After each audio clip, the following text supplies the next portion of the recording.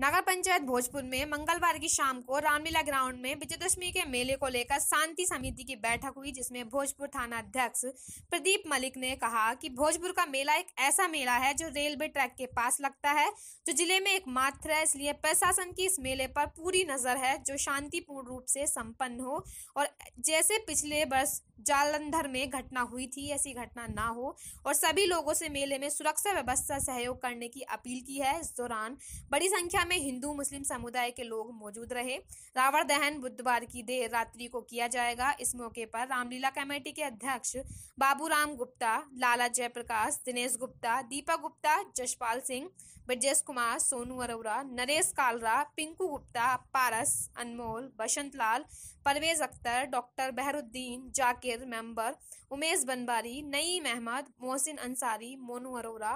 नवीन Kumar Satbir Yadav Rahul Jitendra Nadeem furrows Nashir आदि लोग मौजूद रहे।